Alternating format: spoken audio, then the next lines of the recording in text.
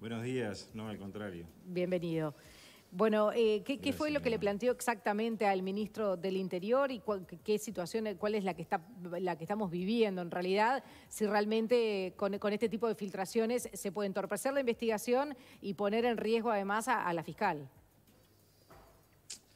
Bueno, eh, nosotros entendemos que sí, que con este tipo de situaciones se pone en riesgo eh, o se afecta la, investigación y también hay que hablar, eh, en este caso, a, la persona que, este, bueno, que eh, fue amenazada, ya de, hecho es, una cuestión que, está puesta sobre la mesa. Y nosotros, pero en realidad llamamos al, ministro en el marco de una serie de llamadas. Este, la primera llamada que hicimos fue a al encargado de, la investigación, es decir, al, oficial que está a cargo de la investigación, a los efectos de eh, establecer eh, si el contenido de, esa publicación de alguna manera eh, se ajustaba a las resultancias de la investigación, por cuanto había aspectos que ni siquiera yo conocía en ese sentido este, me corroboraron que efectivamente había cuestiones que no, que no estaban dentro de, la investigación, si bien había otros que estaban en, las distintas líneas que se habían eh, de alguna manera diagramado, eh, pero había otras que estaban eh, fuera, o datos que estaban fuera.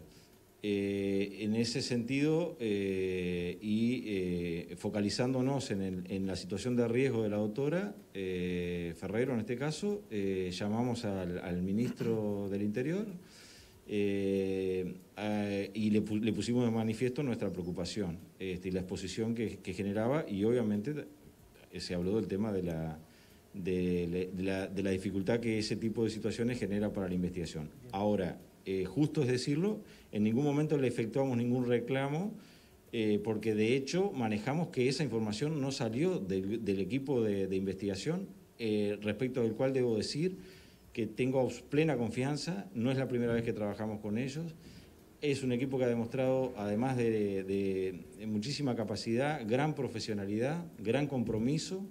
Este, y con el que estamos sumamente conformes. ¿Y qué le hace pensar, eh, perdón, fiscal, qué le hace pensar que las, la, porque la hipótesis es que los datos se filtraron desde el Ministerio del Interior? ¿Qué es lo que indicaría que fue así? No, pero yo no digo, no estoy diciendo eso, estoy diciendo todo lo contrario. No, pero estoy diciendo que... Sí. No, no, hable, hable. Estoy diciendo que en la medida que la información que se brinda no necesariamente coincide con la que la Fiscalía venía manejando y con las líneas investigativas. Alguna podría encajar en esas líneas investigativas, pero hay información que ni siquiera nosotros manejábamos.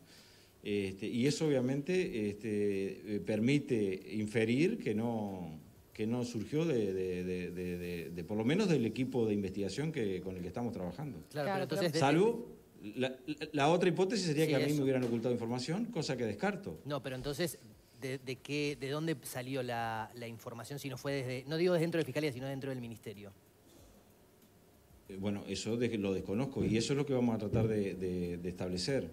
Este, evidentemente, eh, eh, insisto, hay una parte de la información que se ajusta con, una de las líneas de investigación, otra que no, no, no, este, desconocemos de dónde sale. Pero cuando, cuando hay una investigación así, fiscal, más allá del entorno de, la fiscal que, está amenazada, eh, que además es fiscal de estupefacientes, y, por eso decimos, eh, bien, el WhatsApp que se hizo, que se hizo público, eh, donde habla de amenazas fuertes y un grupo fuerte detrás.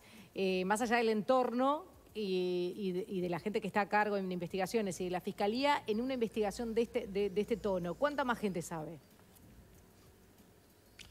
Eso lo desconozco, ciertamente. Sé, sé que eh, en su momento, bueno, hubo una, serie de personas que por, que por lógica consecuencia de la situación tomaron conocimiento del hecho, pero pero eh, exactamente cuántas personas la, conocen esa situación eh, no le podría decir.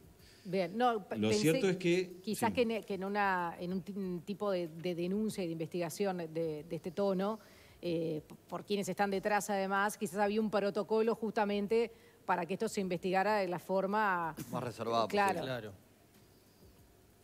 Le explico. Nosotros, eh, cuando tomamos conocimiento, la doctora nos, hace la denuncia a nosotros, eh, porque veníamos trabajando ya el tema de la, brigada, eh, nos reunimos con el equipo de trabajo y llegamos a la conclusión de que lo mejor para la investigación era mantener en reserva la existencia de esa amenaza. Aún así, eh, esa, esa, fue la estrategia que entendimos más adecuada. Aún así nos comunicamos con la doctora Ferrero y le transmitimos nuestra idea.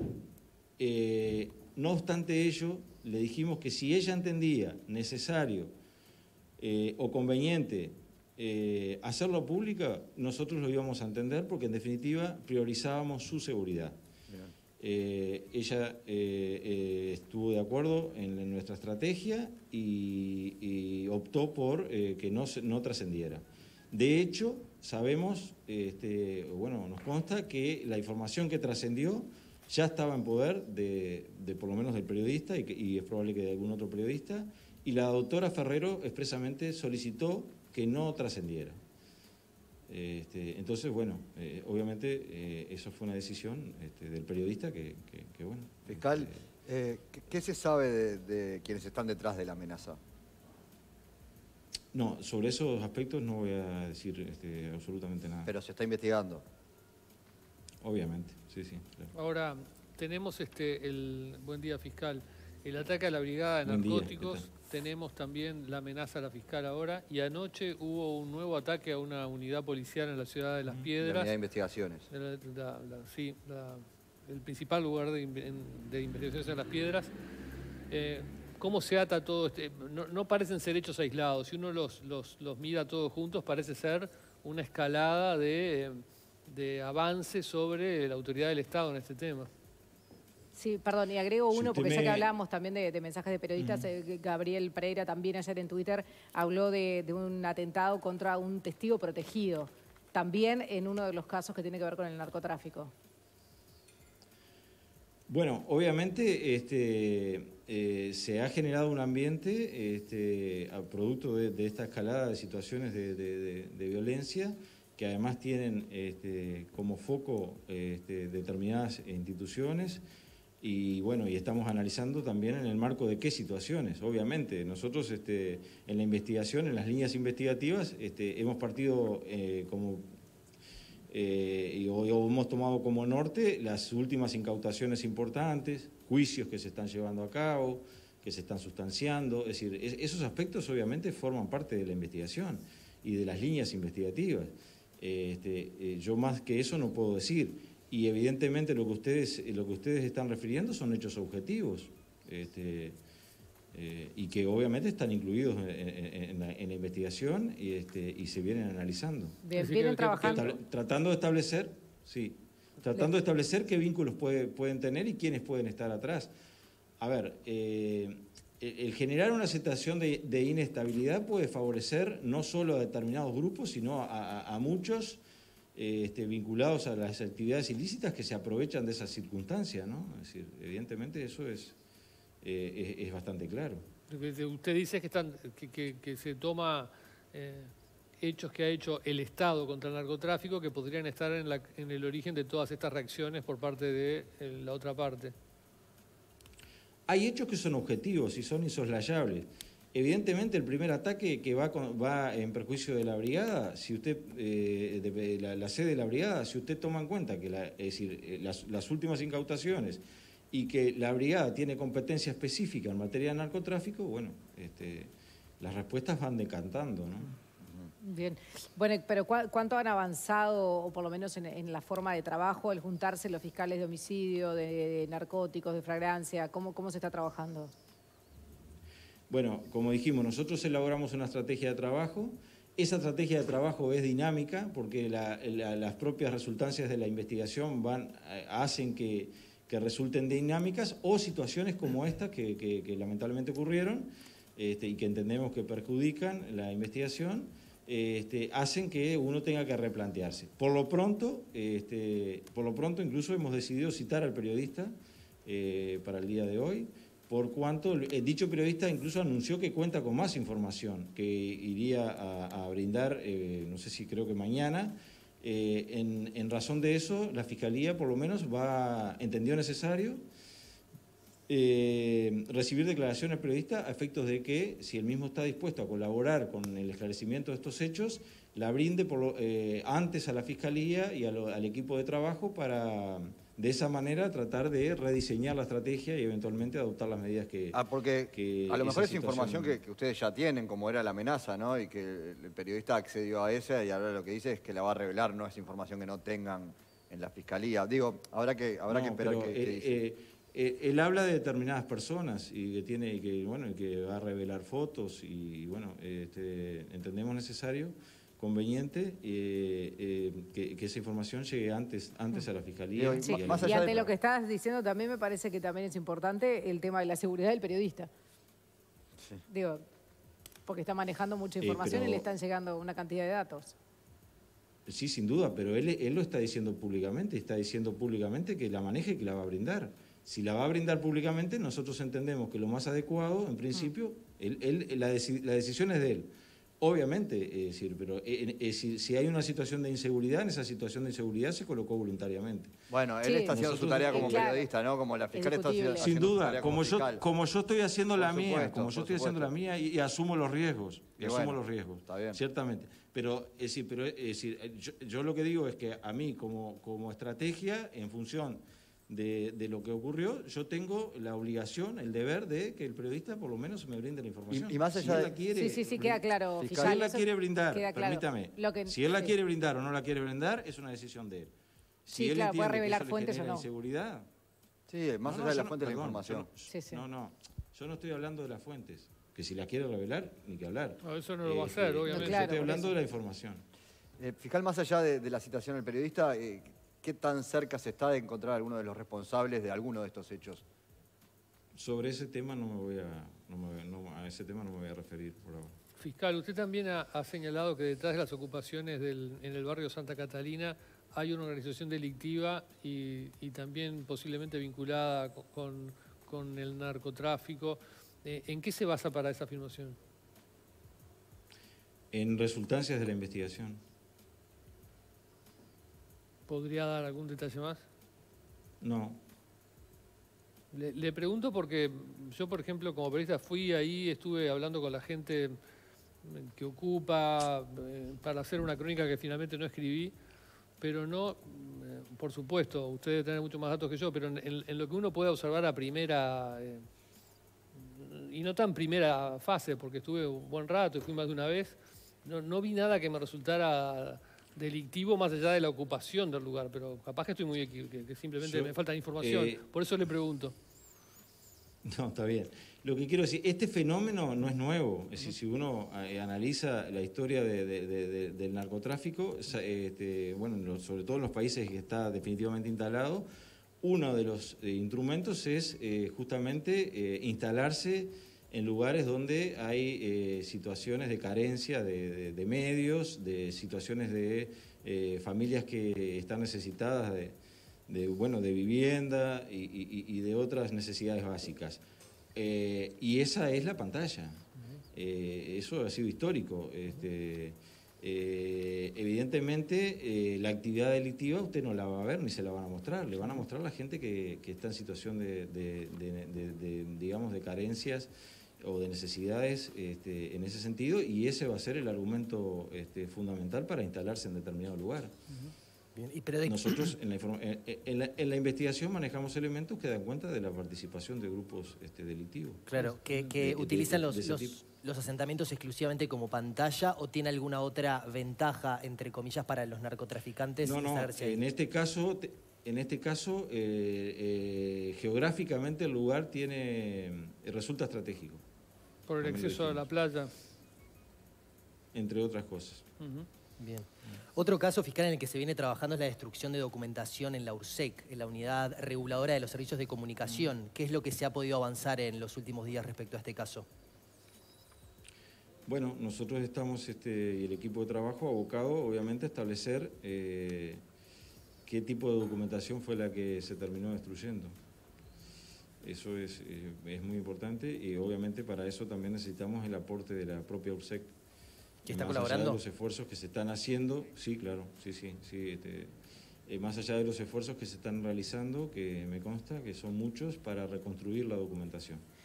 Bien, em, el exdirector de, de la URSEC, eh, Nicolás Endoya, que declaró, dijo que también tenía todos estos documentos porque en realidad estaba en una etapa de teletrabajo y por eso también habían ido a buscar más, más documentos. Em, supongo que bueno que hay mucha información de la, de la que no puede dar, pero, pero esto se puede comprobar que es así o, y por qué la destrucción de, documentos. ¿Por qué no llevárselo directamente? Y bueno, esos son aspectos que estamos tratando de dilucidar, establecer. Bien, ¿en qué etapa está? que la propia... No, no, continúa, continúa. Bueno, como decía, estamos este, tratando de reconstruir eh, la documentación, este, en algún sentido se avanzó, eh, pero bueno, también como decíamos, necesitamos este, el cotejo de, esa, de la información que surge de ahí con la propia URSEC, eh, en la medida que se establezca que falta algún tipo de documentación o este, que esa documentación se, fue, se pueda de alguna manera también asociar con la denuncia de irregularidades que públicamente hizo su actual, la actual presidenta del directorio. Claro, ¿y qué tipo de delitos se podrían tipificar en un caso así? Bueno, por lo pronto este, la sustracción o destrucción de documentos establecido en el artículo 244 del Código Penal. Fiscal, voy un poquito para atrás porque... En principio. en principio sin perjuicio de, todo lo que sí, sin perjuicio de, de, lo que esté ocultando o a lo que esté refiriendo este, esa documentación, que eso en su caso bueno tendrá que tramitarse a través de la Fiscalía competente. Bien. No, le decía que, lo llevo un poquito para atrás porque el colega Gabriel Pereira está mirando el programa y, escribió en Twitter mientras conversábamos eh, hace cinco minutos. El fiscal Diego Pérez miente ahora en Canal 12. Dice que la fiscal me pidió no divulgar la amenaza en su contra y yo lo hice. Cuando la fiscal me pidió no divulgarla, la guardé 20 días hasta que el observador lo informó. Ahí, con el aval de la magistrada, publiqué lo que tenía. No sé si el fiscal Pérez miente porque desconoce o por otra razón, quizás me lo aclare hoy cuando tenga que verlo obligado a las 13.30 por esa citación que mencionaba hace un rato. En primer lugar, me parece una falta de respeto que diga que miento, no miento. Yo tengo la versión, no tengo la versión del, periodista Pereira, tengo la versión de la doctora Ferrero. Y la, versión de la doctora Ferrero, porque además de, como dije, llamé, el día que llamé, además de la de a quien está encargado de la investigación y, y al ministro Larrañaga también me comuniqué con la doctora Ferrero eh, en relación a quien le pregunté ese extremo y ella me confirmó eso, así que este, está equivocado el señor periodista. Ahora, eh, más allá de esta, de esta, polémica con el colega, decir, este... Evidente, no, polémica ninguna. Bueno, él dice que, bueno, no importa. Eh, más allá de porque porque su citación y, y esta situación se genera porque él publica información que ustedes entienden que no tendría que haberse conocido. Pero eso siempre en el fondo, cuando un periodista publica la información, es porque de algún lado salió y alguien se la dio. Y eso está no del lado del periodista, sino que está del lado de los que manejan la información, o sea, del Estado. Las autoridades. claro, sea la fiscalía o la policía, digamos. Ahí, eh, evidentemente, el problema está ahí si tienen un problema.